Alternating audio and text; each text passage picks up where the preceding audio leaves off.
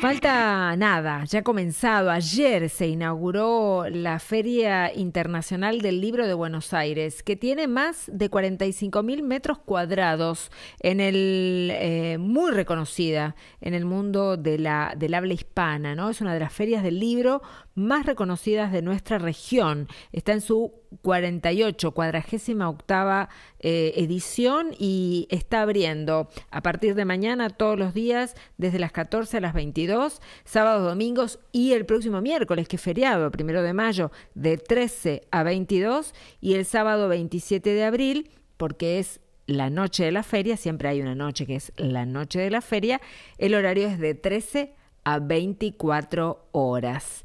¿Por qué hablo de la feria? Porque en la feria del libro hoy a la tarde va a estar nuestra querida amiga, la hermana Silvia Somaré, presentando un nuevo hijo, ¿no? Un nuevo libro eh, y una nueva historia. Así que ya le damos la bienvenida para que converse con nosotros a la hermana Silvia Somaré. ¿Cómo está Silvia? Bienvenida. Buenos días. Buenos días, Gaby. Bueno, un gusto comunicarme con ustedes y con toda la audiencia y con esta excusa tan linda que es la Feria del Libro. Es una alegría verdaderamente para nosotros también. Para los que no la conocen, les contamos que Silvia es hermana esclava del corazón de Jesús, cordobesa, eh, es licenciada en Administración, orientadora familiar, licenciada en Ciencias Religiosas y contadora, eso me lo digo, esto lo digo yo, contadora de hermosas historias, eh, muchas, mira, acá tengo algunas, ella no me ve porque está por teléfono y los que están en la radio tampoco me ven, pero los que nos siguen por YouTube y por, por el canal les cuento y les muestro algunas de, de las que ha escrito sobre eh, la, la, superiora, la fundadora de su orden, Catalina de María Rodríguez y muchas otras historias. Por eso eh, queremos preguntarte qué ¿Qué historia nos vas a contar o qué nos vas a contar en, esta, en este nuevo libro que estás por presentar y, que presentas hoy en la feria? Bueno, se trata de una historia que me salió al encuentro y que yo recibí como regalo. Mira. He vivido en La Rioja los últimos cuatro años y allí tuve un contacto directo con los cuatro beatos mártires, que es Monseñor Angelelli, los sacerdotes Murias y Longueville claro. y el laico Wenceslao Pedernera. Sí.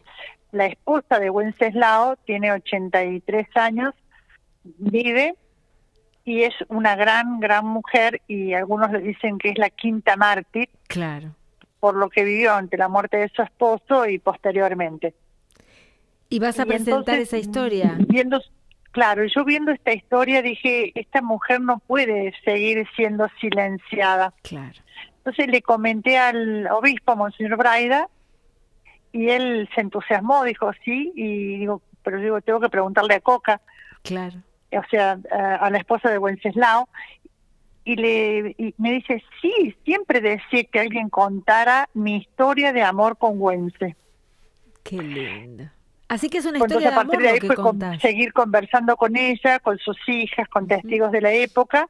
Y bueno, y aquí está este regalo que yo recibí, que es la historia de amor y martirio de Coca y Wences. A veces uno podría pensar que, mm, así, a simple vista, ¿no? Que una historia de amor no puede ser una historia de dolor o de martirio, pero después lo piensa un segundo y se da cuenta de que sí, puede serlo, ¿no? Eh, ¿Cómo es y qué, qué cosas lindas contás en esa historia?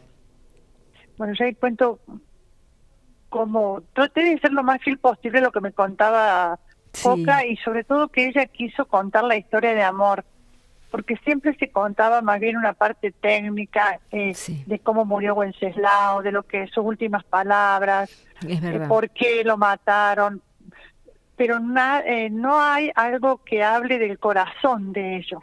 Claro. Eh, de su testimonio como matrimonio, como laicos comprometidos con la iglesia, como padres. Claro.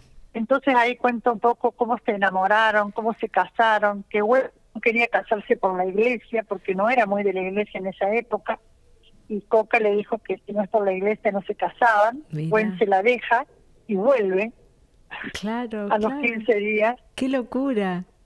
Después tiene una conversión interesante, muy importante. Bueno, cuando se van, eh, ellos viven en Mendoza, cuando se van a vivir en La Rioja, haciendo esta opción por la pastoral social de Angelelli. Claro. Y bueno, y después eh, cuando lo amenazaban, cómo vivían también como matrimonio. Hay anécdotas muy graciosas que me ha contado Coca, que vive cualquier matrimonio. Por ejemplo, cuando se le decía a ella algo que ella no estaba de acuerdo, dice que dejaba pasar un día y cuando se sentaban a tomar mate despacito, lo hacía entrar en sus propias razones, ¿no? Como que lo convencía. Claro, claro. Y es una historia de familia, ¿no? Historia de, de ellos dos, con me imagino un montón de esas anécdotas, pero también una historia de, de la familia que hoy sigue llevando adelante. Eh, después de tantos años, eh, el nombre de Wenceslao, el legado de Wences. Claro, la familia, sus tres hijas, y yo siempre digo algo que me llamó mucho la atención, que es que Coca vive en la misma casa donde mataron a Wences y con el mismo estilo de vida, sencillo, austero y vive de la pensión de Wences. Claro. Y las tres hijas lo mismo lo cual habla aquí también de una opción evangélica, de un estilo de vida en el cual solo basta el amor, solo basta el perdón. Y ella, que es la principal víctima, no se victimiza. Claro. No, no ha usado discursos de derechos humanos, no ha usado prerrogativas que podría haber tenido, solo lo ha hecho, digamos, nada, se ha seguido su vida eh, silenciosamente. Y hoy Vas a estar en la Feria del Libro presentando este libro, firmando también ejemplares. Contanos un poco, así vamos, así los que quieran pueden acercarse y, encontrarte también y preguntarte algo, alguna otra cosita de, esta, de este libro tan lindo. Sí, hoy a las 16 horas en la sala Alfonsina Storni lo presentamos. Bien. Y también yo en el libro hay un apéndice que hice un poco para responderme a mis propias preguntas, eh, cómo era el contexto social, político, eh, geoestratégico en el cual vivieron Wense y Coca. O sea, ¿por qué lo mataron a Wense? ¿Quién lo mató? ¿Qué había detrás de esta situación que, que generó esta dictadura militar? ¿De qué se trataba? Entonces esto me llevó un tiempo interesante de investigación, de lectura, de escuchar cerca de 50 testimonios de distinto tipo. Para hacer una síntesis lo más aséptica posible, lo más objetiva posible de este contexto entre 1963, que asume la presidencia Ilía y después de Roca, y 1983, que asume la presidencia Raúl Alfonsín. Entonces ahí hago toda una síntesis, es como un anexo, que es el escenario en el cual explica, digamos, la vida los porqués, los ideales de Coca y Buen. Es imprescindible una cosa y la otra, ¿no? El, escenario para entender la historia de ellos, porque la historia de amor y de familia de ellos también se ve atravesada por esa situación que vivía el país y sobre todo eh, el, tema de, la muerte, ¿no? Recordanos... Eh, ¿Cuándo lo matan? ¿Dónde lo matan a, a Wenceslao? Junto con... ¿Es en el mismo momento que Angelelli? Eso yo no lo recuerdo. Eh, primero contar que Wences y Coca son los jóvenes, una pareja de tantos jóvenes idealistas de la década del 60. Claro. Y después, bueno, esos jóvenes idealistas, el accionar que tuvieron, en el 70 tuvieron varias consecuencias. Eh, a Wenceslao lo matan el 25, mejor dicho, lo hieren en su casa el 25, el la noche del 24 de julio de 1976 y él fallece en la mañana del 25 de julio de 1976. Claro. Él tiene toda una agonía larga, consciente, en la cual él repite, no odien, perdonen, yo ya los perdoné, no odien. Y mm, Monseñor Angelelli lo asesinan el 4 de agosto, de 1976, o sea, 10 días después. Claro, claro, claro. Pero ellos y anteriormente, el 18 de julio, habían eh, asesinado a dos sacerdotes. A, los otros dos mártires que son los padres Longueville y Muriel. Y en el medio hubo muchas detenciones, muchos este, sacerdotes, laicos, religiosas apresados, maltratados, perseguidos y demás.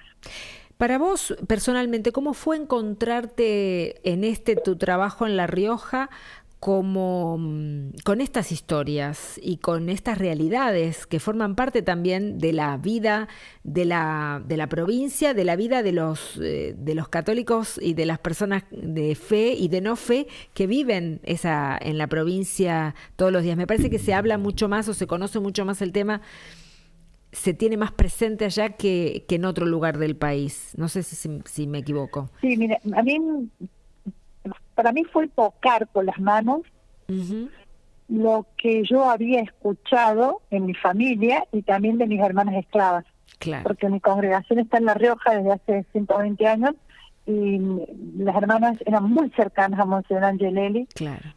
Hay eh, cartas, actas escritas de puño y letra de Monseñor Angelelli en la cual agradece a las hermanas la, la labor pastoral, el cuidado que tienen, no sé, toda una entrega a Jesús y a la diócesis. Y estas hermanas siempre contaban, ¿no? La persecución, eh, qué vivieron cuando mataron a Angelelli, incluso en el diario de la comunidad eso está escrito, que han matado a un laico, que siguen persiguiendo, que una alumna nuestra la llevaron presa y era porque era catequista en un barrio. Claro. Entonces era fue tocar y, y ver los testigos de esa época eh, sobre lo que yo había escuchado, ¿no? ¿Qué es lo que más te emocionó de, de, lo que te dijo Coca, de todo lo que hablaste con Coca, eh, que es para los que recién se enganchan y, nos escuchan hablar, estamos hablando con la hermana Silvia Somaré de su nuevo libro, Coca Güense, una historia de amor y martirio, eh, y Coca es la esposa de Wenceslao Pedernera. ¿Qué, ¿Qué cosa más te llegó al corazón de todo lo que ella te dijo? Em, una que cuando yo le pregunté, Coca, ¿sos feliz? Y me dice, sí, pero me falta el amor de mi vida. Y sí. Eh, otra que mm, un día que estaba yo en la casa de ella ahí conversando, le pregunté, Coca, ¿dónde se sentaba Wenceslao cuando tomaba mate? Y me dice, ¿dónde estás sentada vos? Y, y me dice, y yo a veces me imagino a Wensi, eh, viejito, conversando los dos, siempre lindo, más lindo que yo. Entonces esta mujer que es la esposa de un beato, claro. añora a este a este hombre que, que fue, dice, el hombre que más maravilloso del mundo. Qué hermoso.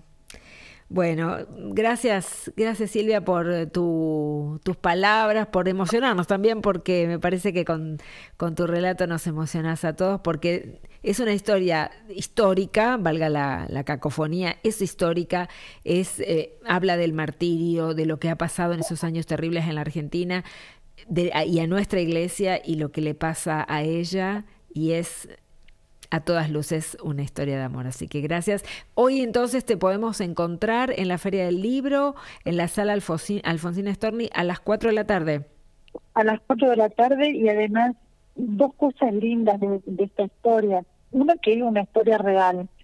O sea, yo no le agregué nada, solamente puse ahí escrito lo que Coca y demás testigos eh, contaban. Otra que son un ejemplo de matrimonio y de vida laica, de laicos entregados.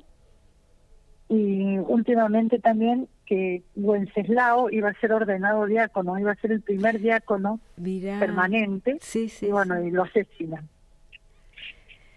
Gracias, gracias por estar con nosotros. Te esperamos la próxima semana porque contamos una infidencia, la vamos a tener en nuestro programa semanario de 21 de, de, cuerpo presente. con mucho gusto, con, mucho cariño. ¿eh? Dale, gracias. Muchas gracias, gracias a, ustedes por, por el apoyo, por el cariño permanente.